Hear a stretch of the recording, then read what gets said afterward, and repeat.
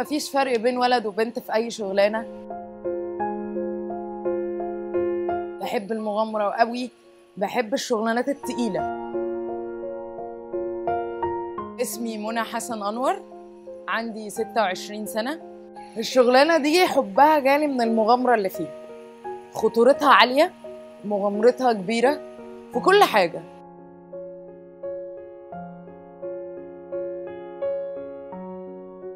الورشه بالنسبة لي هواية أكتر ما هي شغلانة.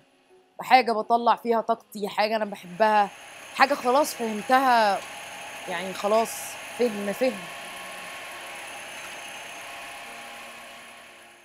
كل الناس كل المجتمع اللي أنا عايشة فيه كانوا رافضين فكرة إن أنا أبقى في, الورشة بس هو كان بالنسبة لي تشالنج حياتي.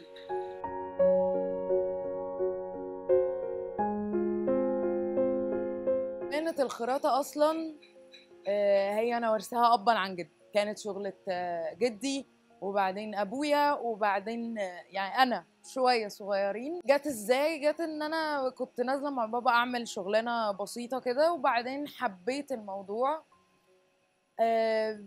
كلنا وإحنا صغيرين بيبقى عاجبنا قوي فكرة إن أنت ليك مكان وليك كلمة في المكان. فأنا كنت نازلة كده وكنت نازلة الأول إن أنا يعني إحنا أربع بنات ف... فجميل إن أنا أقف مع بابا شوية. وبعدين حبيت المهنة. جت إزاي إن أنا اشتغلت أنا أول أربع سنين من حياتي ما كنتش بشتغل بإيدي خالص خالص نهائي. وبعدين وضعي كبنوتة مع الرجالة اللي واقفة كان وضعي صعب جدا إن أنا مش فاهمة أي حاجة في أي حاجة. فساعتها أنا اتعلمت من ورا بابا. يعني اتعلمت إن أنا آخد فكرة من هنا على فكرة من هنا. لحد ما لميت الشغلانة كلها ساعتها قدرت إن أنا أكون مديرة بالمعنى الحرفي إن أنا عارفة كل حاجة بتتعمل إزاي بتاخد وقت قد إيه فقدرت إن أنا أسيطر على الناس اللي تحت إيدي. آه، والدي ما كانش موافق خالص إن أنا أشتغل بإيدي بحكم إن أنا بنوتة والدنيا هنا عندنا صعبة شوية. يعني الجروح عندنا بتبقى خطيرة نوعا ما. إن إحنا بنتعامل مع معادن بس وسرعة. المعدن مع السرعة ممكن يموت البني آدم حرفيا. فبابا كان معترض شوية الأول لما لقاني بعرف أعمل وبعرف أنتج وبقيت شخصية مهمة في الورشة زي زي الناس اللي معايا بعرف أنتج زيهم بالظبط. واحيانا أسرع. آه، فده اللي خلاه يوافق خلاص ويعتمد عليا. وبعدين الورشة بالنسبة لي هواية أكتر ما هي شغلانة. حاجة بطلع فيها طاقتي حاجة أنا بحبها حاجة خلاص فهمتها يعني خلاص فهم فهم. فلما بشتغل أي حاجة بشتغلها جنب الورشة مش بسيب الورشة. الشغلانة دي حبها جالي من المغامرة اللي فيها. خطورتها عالية مغامرتها كبيرة في كل حاجة. في في كل مكنة هنا إحنا بنشتغل عليها خطورتها فعلا بتبقى عالية. فالتركيز هنا بيبقى واخد وضعه شوية. غير إن هي أصلا شغلانة رجالي. وأنا بحب النوع ده. بحب المغامرة قوي. بحب الشغلانات التقيلة. مش بحب الشغلانات اللي هي بتبقى على مكتب. ده غير إن هي كانت تحدي أصلا. في الأول وفي الآخر هي تحدي جدا.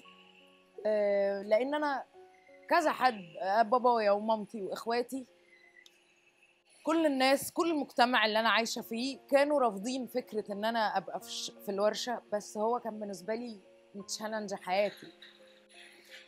ف...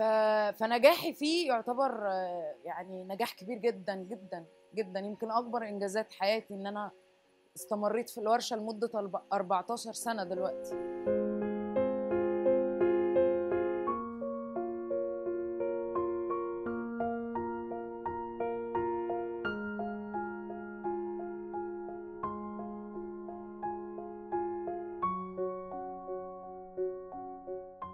اتعب عشان تحس بقيمة الفلوس لأن أنت مش متخيل فرحة أول فلوس أنت بتاخدها وبتكون تعبان فيها بتبقى شكلها عامل إزاي. أول فلوس خدتها من فعلا لما إيدي اتوسخت وهدومي اتبهدلت وكده كنت في ثانوي.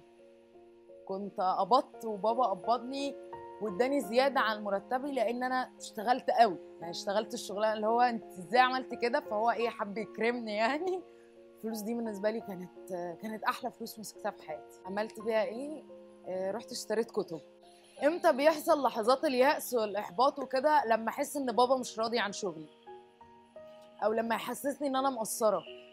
مع إن أنا من جوايا ببقى عارفة إن أنا والله العظيم يعني أنا عاملة أكتر من طاقتي.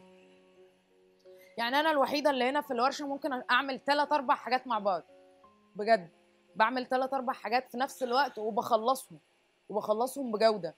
هو فعلا مفيش فرق بين ولد وبنت في أي شغلانة بس يعني الناس بتتريق عليا عشان أنا بشتغل شغلة رجاله لو أنت فعلا بتصنف طب ما في makeup artist رجاله عادي مش أي مشكلة. حياتي عادية حياتي الاجتماعية لطيفة جدا عندي صحاب وبعدين لسه مرتب... لسه مخطوبة بقالي شهر ونص مثلا.